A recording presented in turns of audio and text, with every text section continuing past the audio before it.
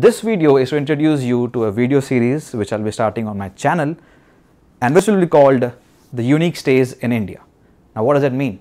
Basically this means that I'll be visiting properties or stays in India which is unique. Now when I say unique, it's not exactly unique, maybe rare or something different from the normal.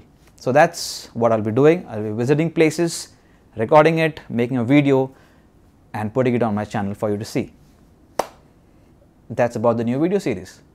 So do subscribe to the channel, do wait for the videos and support it, okay? And I'll end this video with uh, a quick jump onto the bed in slow motion.